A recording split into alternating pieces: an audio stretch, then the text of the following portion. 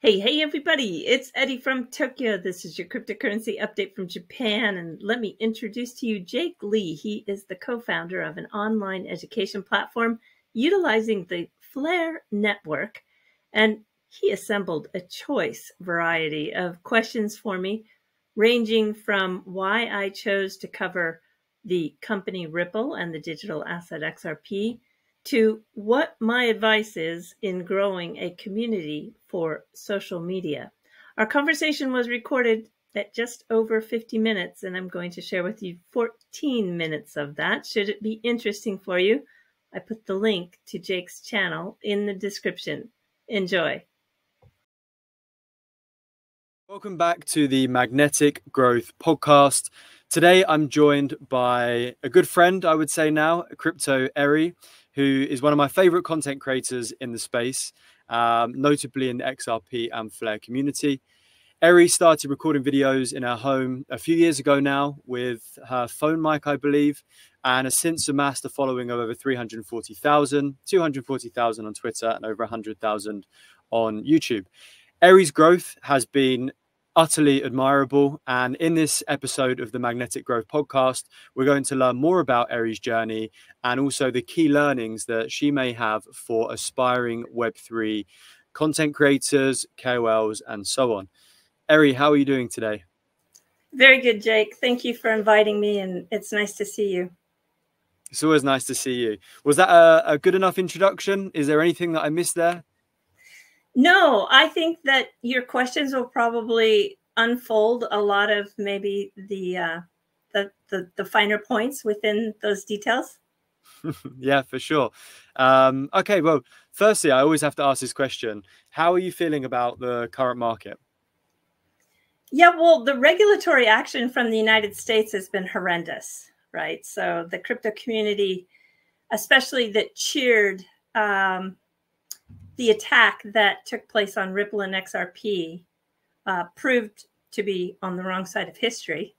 And and I think that now a lot of the other um, digital assets in the space are realizing that a divided community really is our weakness. And so coming together and and really getting through these hurdles is going to be very important. And also within the current marketplace, maximalism for the most part is is reducing but i still see it as toxic behavior and it still exists and i'd like to see that eventually uh, be eradicated. Um, if when we talk about meme coins because because this this particular market cycle has really been active with meme coins i might have a contrarian point of view. I think that that we should be really happy that it, it has resulted in the onboarding of lots of new people in the space. And there's lots of people who are having fun.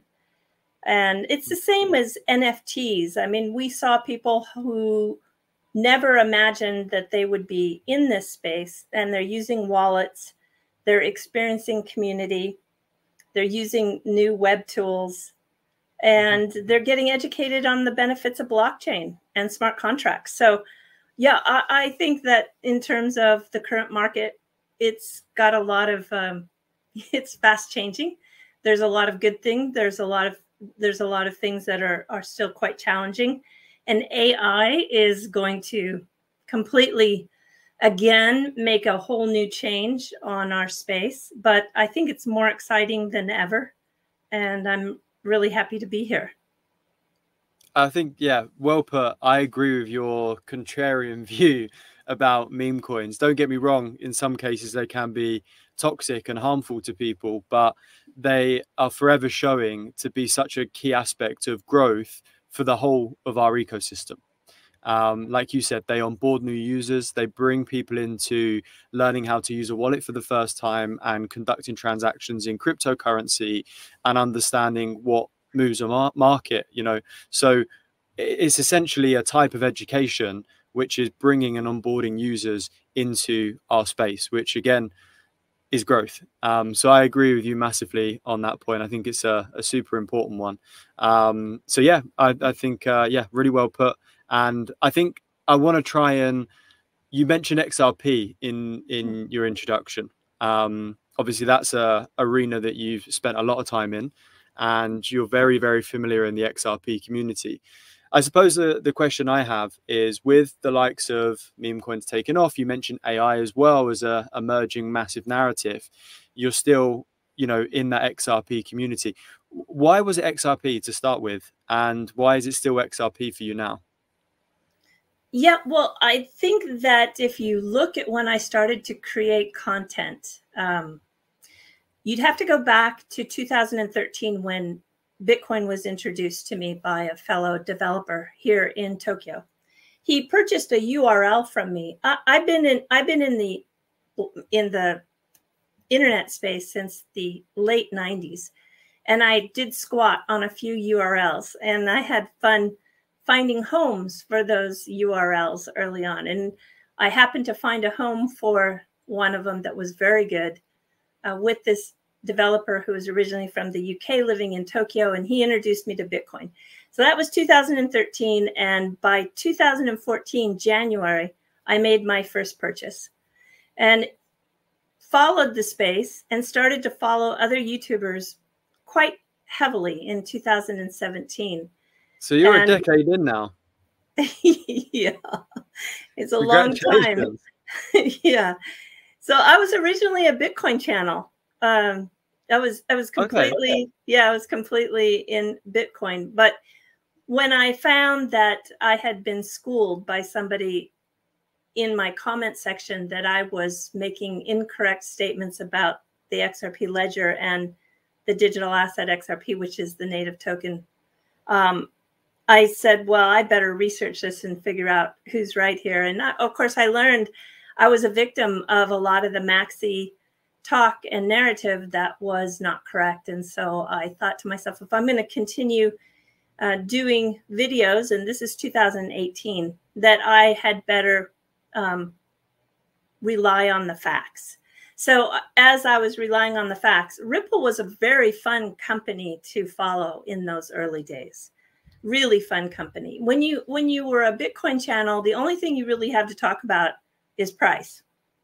Now that's different. Ordinals and runes and and some of the um, uh, payment development that's taking place, it, it's a little different. You've got more to talk about with Bitcoin than price, but in those days, really the only thing you could talk about was price. And so I got a little bored with that. And when I found that co covering the company Ripple was fun because they were making a lot of moves, doing a lot of education, creating a lot of partnerships, making ways into the um, the financial end of blockchain. Yeah, that was super exciting. So I wanted to participate and not miss what they were doing. And I think that, yeah, I think anybody who's been in the XRP community has had some of that same um, excitement as we've seen the space mature. Yeah, I mean, I XRP was actually one of the first assets that I bought uh, in 2017, I think it was. And again, similar was they seem to be building something um, with a vision to have this real world use case. And as you mentioned, I didn't really, to be honest, at that time, I didn't really understand blockchain and how the space was going to develop, but I was excited, similar to you, in terms of, well, this is something unique. Um, but obviously, a lot has happened since 2017. This is seven years ago now. Um, and you're still in the XRP community producing content. Is there is there a reason for that um, as to why you're you know you're you're still there? Like you mentioned, there's so much technological innovation going on.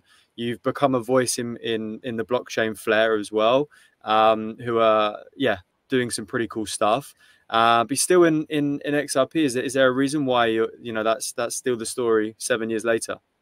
Yeah, well, I I think that in terms of the tokens that I've covered and the people I've had on my channel from from Sunny Lu in um, VeChain and Anish from uh, the WadzPay, and I mean, just so many utility tokens, even um, um, the uh, CEO of SHX, which is working not only uh, on the XRP ledger, but also on the Stellar blockchain. And I think in terms of utilitarian tokens in payments, that really has my interest. And um, that company, again, I go back to Ripple, is has in the past, before they shifted to custody and tokenization, they have been a leader in the payments industry. You know, I live in Tokyo, and so I experienced that pain point of cross-border remittances firsthand, and and the the ability to actually transfer uh, funds and value using the digital asset XRP within literally two two to three to five seconds max for just fractions of a penny is quite important. And so mm-hmm. with that pain point, I think I think it's still relevant, especially for all the migrant workers that are around the world that sacrificed, left their countries, are working in places that they have to send money home to every month. This is still a really relevant pain point. And there are certain parts of the world where the transmitters are still charging them in, insane amounts of money, like 7%, even as high as 20 some percent in parts of Africa. So this is just, you know, it's it's all about also providing an equitable solution.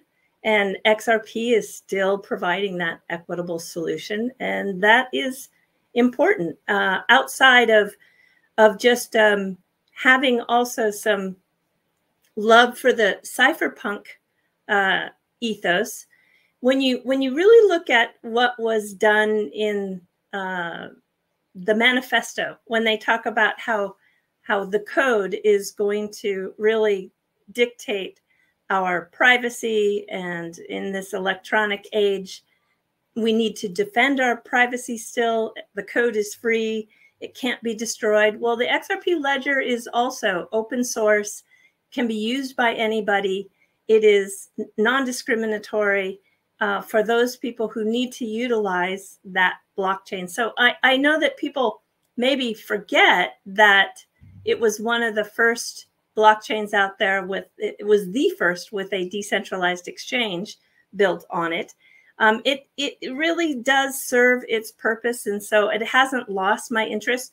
Although, if you look back through my videos, I have had um, I have had so many. I I have hosted more than 30 or 40 different guests on my channel channel annually for the last seven years. That's a lot of people who've been on my channel.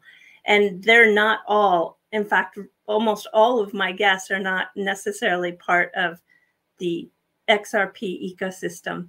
And most of them are outside the ecosystem. So yeah, I, I think that's a, a long and a long way to go about answering your question, but that's why I'm still covering this space.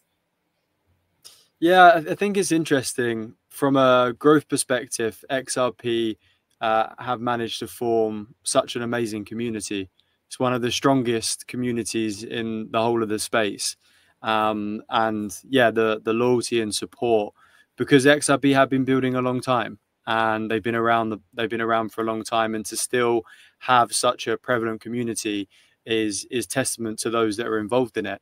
Um, like yourself for for you know creating great quality content keeping everyone in the loop and always trying to look forward um, to, to what's coming next and what's around the corner. So yeah from a community led growth standpoint which is the final kind of core pillar that we look at when it comes to growth xrp is a tremendous example of how to create uh, user generated community led growth and yeah, I mean, we kind of skipped it. You kind of got into it a little bit in terms of why you started creating content in the first place.